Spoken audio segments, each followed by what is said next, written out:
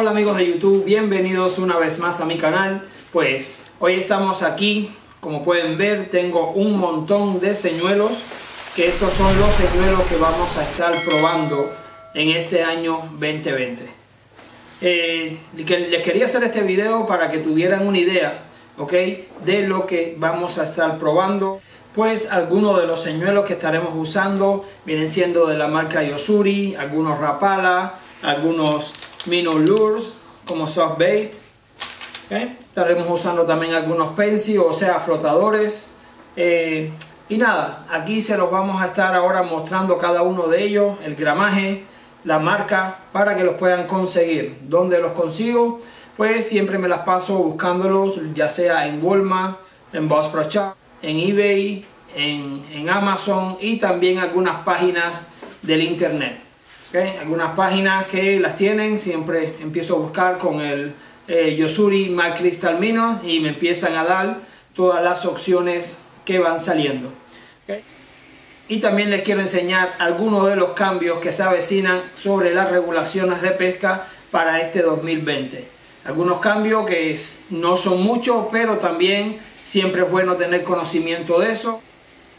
Y nada, pues empecemos con los señuelos que vamos a estar usando. Pues por aquí tenemos algunos soft bait.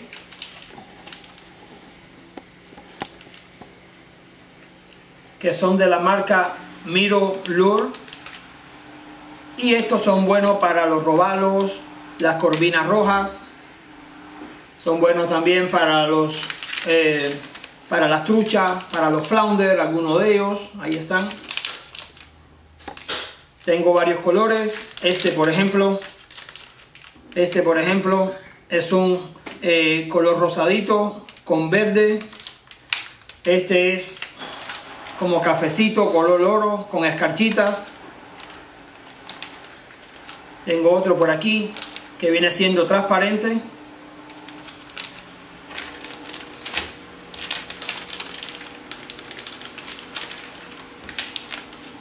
Uno eh, transparente, tirando un colorcito gris, pues con escarchita también.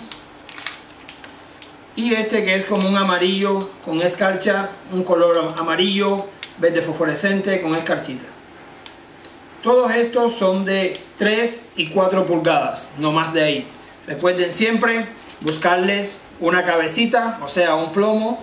Eh, yo prefiero los que son de color de cabeza de color rojo ok unas 3 octavos media eh, unos 3 octavos onza para que pueda avanzar. Eso que entre 3 octavos y un cuarto de onza para que puedan avanzar estaría perfecto. Ahí están. Entre otras cosas que voy a estar usando este en especial es uno de los que me llama mucho la atención. ¿Por qué me llama la atención? Porque aquí donde yo pesco con más frecuencia es en la bahía de Tampa, ustedes lo saben pues es muy bajo y también tiene mucha hierba, o sea que peces de profundidad no me van a servir, o señuelos de profundidad no me van a servir ahí. Por esta parte tengo un X-Wrap, ahí está, este es para agua salada. Y este se llama un Twitching Minnow. Este es simplemente, no tiene paleta, este simplemente debería bajar Depende de la distancia que uno lo tire, debería bajar un tramo como unos dos pies, máximo pienso yo. Tiene un solo anzuelo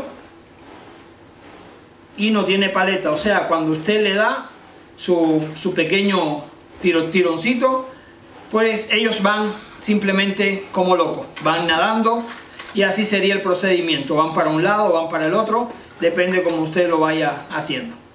Ahí está. Es un Rapala X-Rap. Por este lado también tengo otro twitching. Llaman así twitching sinking, twitching bait. Este es un rojo y es de la marca Yosuri. No tienen paleta, pero creo que va, creo que va a funcionar muy bien en unas, en unas zonas bajas. Tengo una cuchara. ¿Con qué objetivo es la cuchara? Pues para las macarelas, para los bluefish que ahora estamos en enero, aquí están un poquito atrasados, pero yo me imagino que para la costa, para la costa oeste ya deberían estar ya eh, picando bastante por allá, pero siempre funcionan para las macarelas, para los bluefish, son súper, súper buenas. Vamos a ir poniéndolo para allá. Escuchen a pelón. También tengo otro rapala, es un X-Rap, ahí está.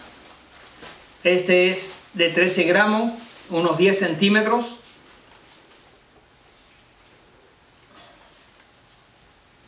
Es un rapala, pues este rapala en particular lo que me gusta es que tiene un tamaño mediano, o sea que lo mismo lo puedes usar en agua dulce y en agua salada tiene muy buen movimiento realmente, no requiere maniobrar tanto la, la vara, así que me encantan estos rapalas, pero este baja un poquito, así que este lo estoy reservando para algún lugarcito donde haya un poquito más de profundidad que en los lugares donde usualmente hago mis videos y pesco.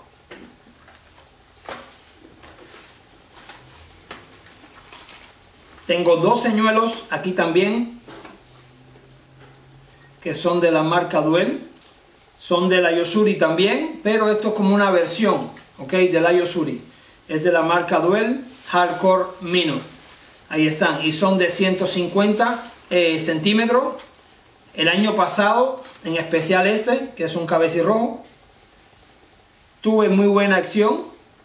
El hermano David, si ve este video, pues gracias por repararme mi antiguo cabecirrojo. Pues sí, este señuelo el año pasado sinceramente me dio muy buena acción y pienso volverlo a probar este año. Así que ya lo saben, es un Dual Hardcore Minnow de 150. Vienen en varios colores también.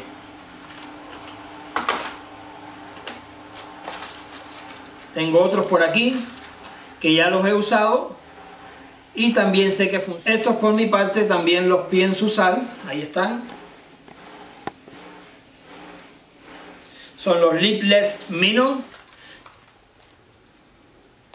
Pues por mi parte también voy a estar usando estos señuelos. Son los Lipless de 120 eh, milímetros. Son de la marca Duel, Hardcore también. ¿Qué significa Lipless? Lipless pues son los señuelos que no tienen eh, la paleta. O sea, ellos traen una paleta, pero vienen integradas ya con el, um, con el señuelo. Pero se llaman así. Muy buen resultado también he tenido con estos. Varios colores. Y si se dan cuenta, si se dan cuenta en el precio y donde lo conseguí,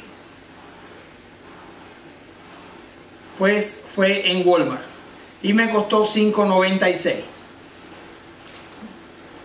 Como les he dicho, yo los consigo en Walmart, yo me paso restregando donde ellos tienen su inventario, todos lados. Ahí están. Tengo varios de los más cristalminos de los Yosuri que he estado usando, ok, diferentes tamaños. Tengo de los 125, tengo 105. Se los voy a, ir se los voy a enseñar para que tengan una idea. Son los más cristalminos que son los que estoy usando actualmente, que tengo los reemplazos aquí. Este es como color sardina, un azulito con plateado. Este es dorado con rojo. Este es, eh, tiene como un amarillo y naranja eh, fluorescente por arriba y como si fuera un cristal, un espejo por los lados. Súper bueno de 105 milímetros de 12 gramos. Tengo otro multicolor, que ya ese ya lo han visto también en los videos. Tengo otro rojo con dorado de 125. Tengo varios. Este también es un, como un arco iris pero diferente. Tengo muchos Yosuri. Aquí tengo los mágicos, o que les puse mágicos, porque realmente súper bueno. Ojo pescadores con este señuelo, súper, súper bueno. Estos son de un color azul cielo por arriba, un rosadito por abajo en la pancita y un plateado por los bordes.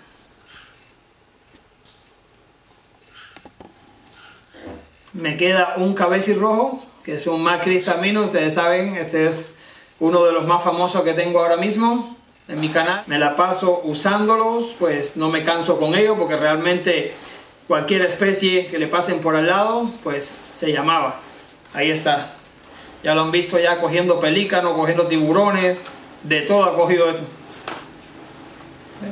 Tengo otro igual que, que los demás, color sardina. Otro mágico. Miren estos dos amigos. Estos ya vienen siendo Crystal Mino. Son Yosuri, pero son solamente Crystal Mino, no son MAC. Serían Crystal Mino. Esto es color hueso y este es como color sardina. Estos dos son de 110 milímetros y 12 gramos. Los dos son flotadores.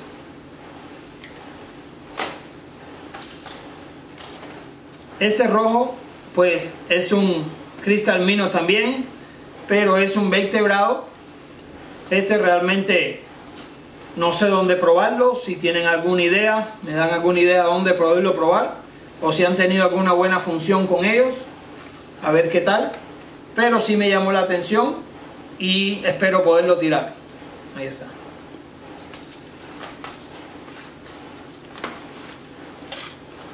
Tengo otro flotador, color hueso, de la Yosuri también.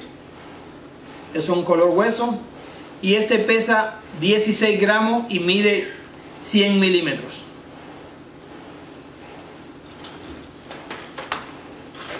Miren este qué interesante, también de Walmart. Es de la marca Duel y es un adagio.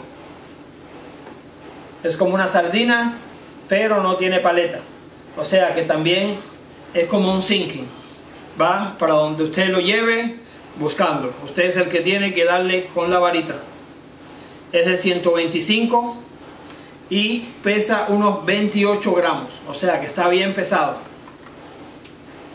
Para hacer unos tiros bien lejos, ahí están, unos alcances.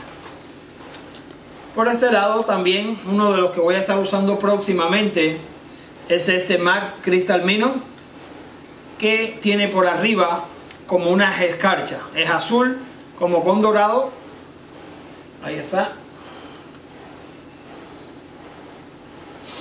Y también pesa 18 gramos. Y ya este es un lipless. También vamos a estar usando algunos de los viejitos que los tengo en la cajita de, de, la, de la pesca mía. Bueno, y si quieren que les haga un video sobre qué llevo en mi mochila de pescar para la pesca, pues déjenme saber. Denme un, dedito así y déjenme saber si queremos el video algo. ¿Ok? Ahí estamos. Pues ahora le vamos a entrar a la página web de la pesca. Ya aquí estoy adentro. Vamos a apartar para un ladito aquí esto. Pues la página donde pueden chequear las regulaciones de aquí de la Florida. Pues se la voy a dejar escrita aquí abajo aquí abajito se lo voy a dar escrito para que puedan entrar. Y una vez adentro de esa página pues seleccionan la opción eh, saltwater o de agua salada. Y ahí le va a salir varias opciones como un quick charge que, viene siendo un calendario rápido una paginita chiquita. No tiene todas las informaciones pero también hay otra versión más grande que es las regulaciones de pesca de la Florida Hoy es 6 de enero y aún no están todavía actualizadas las del 2020. Yo estuve chequeando también esta mañana. Pero en cuanto eso pase, ya enseguidita se los vamos a estar informando de los cambios. Vamos a entrar aquí un momentico. Vamos a Google y ponemos mi con Y F W C.com y ahí tiene que salirles. Le va a salir esta página donde vean, vean que tienen esto donde, donde diga licencias en esta donde vea que le salga así donde diga licencias y permiso casa que viene siendo hunting pesca en agua salada saltwater fishing ok entramos a esa página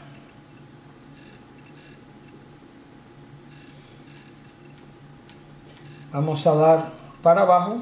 Aquí les, quiero enseñar algo bien importante en esto que está saliendo aquí ahora para que tengan una idea sobre las zonas. Cuando yo me refiero a que las truchas los robalos los redfish están cerrada la temporada en la zona del Southwest si ven aquí este es el mapa de la Florida pues el azul clarito, la región del azul claro este de aquí, es la región del Southwest, que viene incluyendo desde Hernando hasta Leeds. Todo eso es lo que viene incluyendo el área del Southwest. Por supuesto, la bahía de Tampa está en el medio. En las demás zonas sí las regulaciones están normalmente. Aquí, porque el año pasado hubo mucha concentración de la marea roja, y los peces realmente sufrieron muchos bajas, muchas bajas y por eso es que están cerradas. Pues retrocedamos. Pues ustedes van, bajan y donde diga saltwater fishing, hacen un clic, bajan, recreacional, okay, eh, pesca recreacional. Aquí lo dicen, como pueden ver, el signo de exclamación y dice que las regulaciones eh, las regulaciones van a ser cambiadas próximamente. Aquí viene coming, coming soon esto es un quick chart o sea una página rápida que la pueden descargar inclusive a su celular que esa es la aplicación que yo utilizo. Si usted entra desde su celular pues por ahí pueden entrar